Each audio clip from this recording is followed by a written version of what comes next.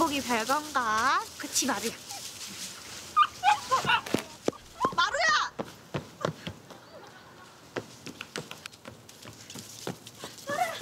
어? 마루야. 마루 맞지? 마루야, 아이고 진짜 죄송합니다. 어? 어? 아니, 어, 다리. 아, 아, 근데 마루 그쪽 강아지예요? 어? 마루 어떻게 알아요? 아, 리셋하기 전에 마루 잃어버렸었죠. 아, 네. 근데 그거 어떻게? 내가 돌봐주고 있었어요. 주인 못 찾아가지고 목줄도 없고 인식표도 없고 보호소에선 열흘 뒤에 안락사 시킨다 그러고 그래서 나랑 같이 살고 있었어요. 리셋하기 전까지. 아, 사고 때문에 병원에 있었거든요. 잘못됐는 줄 알고 진짜 걱정 많이 했는데. 굶긴 적도 없고 산책도 꼬박꼬박 시키고 학대한 적도 없어요. 그치 마루야? 고맙습니다. 근데 어떻게 알고 마루라고 불렀어요? 어 그러게 진짜 신기하네요. 저는 그냥 제가 좋아하는 웹툰 작가 이름 붙인 건데. 왜 웃어요? Hidden Killer? 그거 알아요? 나 이거 완전 팬인데? Hidden Killer 작가가 자기 강아지 이름을 필명으로 쓴 거 알아요? 네? Hidden Killer 작가. 필명 마루. 제가 그 Hidden Killer 작가 마루라고요. 네?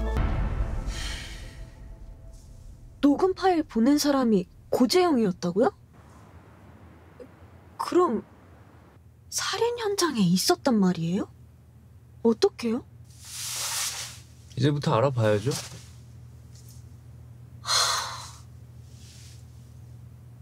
우리끼린 좀 믿죠?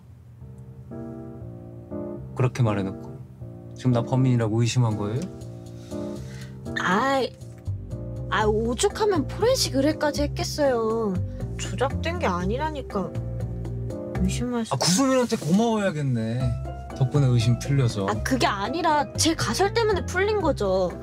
진짜 범인은 연쇄 살인범이다. 아, 근데 형주 씨는 차정석 씨랑 소혜인 씨 사망 추정 시각에 나랑 같이 있었잖아요. 그걸 그러니까 형주 씨는 범인이 아니다.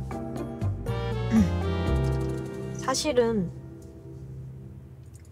그렇게라도 믿고 싶었어요.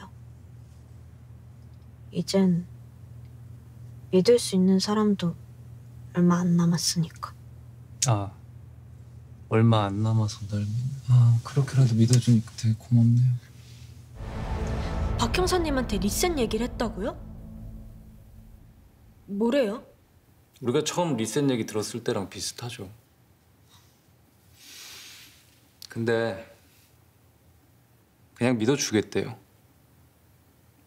믿으니까 해결되는 일도 많다고. 그냥 믿어준다. 좋은 말이네요. 그럼요. 의심 당해본 사람 입장에선 그 말처럼 고마운 게 없죠. 나는요. 아직도 리셋한 거 후회 안 해요. 충분히 악몽 같고 힘들지만 이걸 그대로 겪는다고 해도 나 무조건 믿어주는 사람 살릴 수 있으면 다시 리셋할 거예요.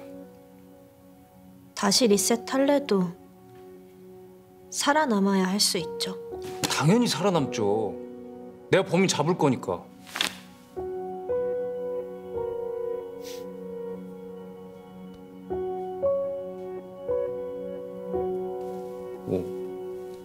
웬일로 호응을 다 해주고.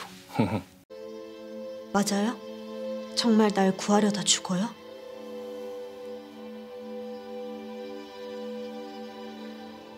죽을 운명은 아무도 바꾸지 못해요. 아니요. 바꿀 수 있어요. 내가 보여줄게요. 날 구하려다 죽는 거면 나랑 떨어져 있으면 산다는 거잖아요. 그렇게라도 살릴 거예요. 내가. 제보 좀 하려고요. 무진시에서 탈주반 박선호를 본 것 같아요. 저 형주 씨. 우리 꼭 살아요.